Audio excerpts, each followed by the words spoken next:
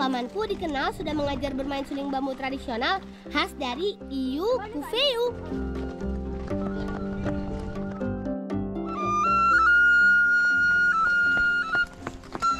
Bai, bai hala fui ka? Belen. Bolang, how about tuan itu ni badai? Bana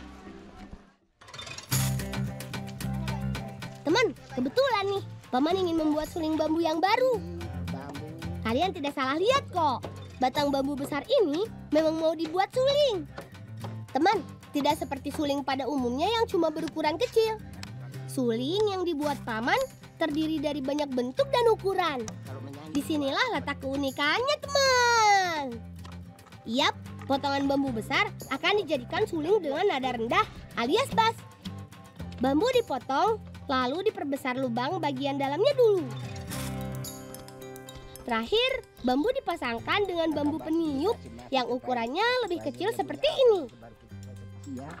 Baru deh bisa ketahuan seberapa dalam tarikan bambu ini akan memberikan suara nada yang berbeda.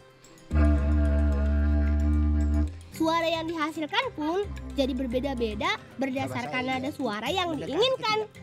Untuk yang sedang kami bikin ini, suling bambu bernada bass dengan not nada sol dan la. Karena banyak bentuk dan ukuran, yang memainkannya nanti juga tidak cuma satu atau dua orang saja, teman. Namanya Mifare pembantu bass ya.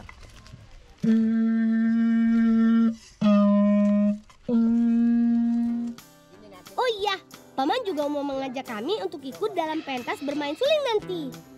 Wah, aku jadi tidak sabar untuk bisa segera bergabung. Ya sudah Paman, kami pamit dulu ya. Tunggu kami nanti ya Paman.